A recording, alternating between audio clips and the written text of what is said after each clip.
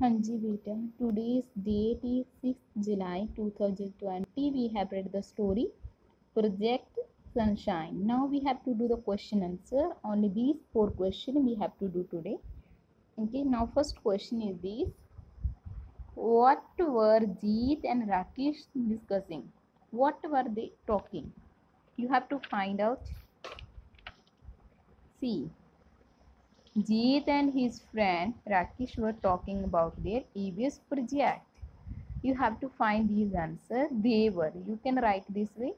They were. They were talking about their EVS project. Okay, this is the first answer. You have to find out like this way. Now see the second question. How did Jeet hit upon the idea for his project?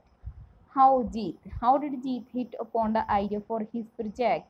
Then he asked Rakesh, what you will make? He will make the model of the earth, model of the school. But Jeet thought, then what he saw out of the window?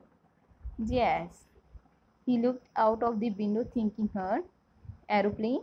He saw an aeroplane flying into the horizon. Okay. He, as he looked out of the window thinking hard, he saw an aeroplane flying into the horizon. Okay, this way you have to find out beta. Now third question. What were the things that they would need? Which things they would need to make the project? Things, a list of things they would need. Like one piece of wood for the body, some smaller thinner piece of wood for the wings and tail, two ice cream sticks for the propellers, one round wooden stick for the nose, a small piece of iron wire. Okay, these things they have need to make project. One tools. He made the list of tools also. Saw, sanding paper, drill, wire cutter, wood glue. These things, these tools they have need. These things they have need to make project these tools also he, he need. Now last question.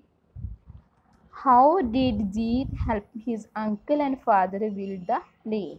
How did Jeet help? Because his uncle and father making the plane now. How did Jeet help? You have to find out with him. Yes Jeet glued the piece of wings and tail together Jeet helped his, father to make aeroplane. Jeet glued the piece of wings and tail together. This way you have to find out and write answer in your English notebook.